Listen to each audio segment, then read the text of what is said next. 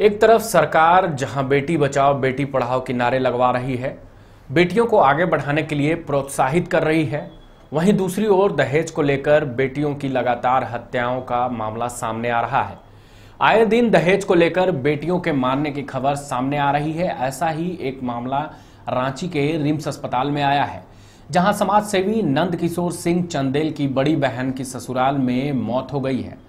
Body को अभी RIMS में पोस्टमार्टम के लिए भेज दिया गया था। घर वालों की माने तो लड़की को दहेज की मांग करते हुए हमेशा प्रताड़ित किया जाता था। मार की वजह से कई बार लड़की अपने मायके आ जाती थी। इसकी शिकायत थाने में भी कई बार की गई है, मगर कोई सुनवाई नहीं हुई है। बाद में सामाजिक दबाव के कारण लड़की फिर से अपने ससुराल चली जाती थी, मगर इस बार जब गई तो ज़िंदा वापस नहीं आई। उन्नीस सौ से जब से बहन की शादी की है, तब से उसके ससुराल वाले हमेशा उसको मारते पीटते हैं। आप बॉडी में देख सकते हैं, कहीं पर उनका उसका नाक टूटा हुआ है, कहीं पैर टूटा हुआ है, कहीं हाथ टूटा हुआ है। शरीर पर बहुत सारे दाग मिलेंगे जो कि उसके हस्बैंड उसके सास ससुर और देवर लोग हमेशा उसको मारा पीटा करते थे।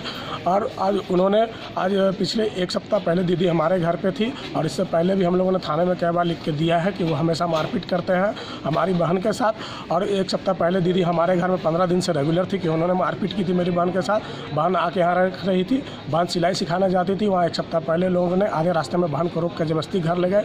बहन ने फ़ोन किया कि हमको जबरस्ती लोग घर ले आए। हम पूछे कि क्यों आप, तुम चली गई? तो बोले कि लोग जबरस्ती ले आए ना तो रोड पर लोग हल्ला गुल्ला करता, हम जबरस्ती आ गए यहाँ पर।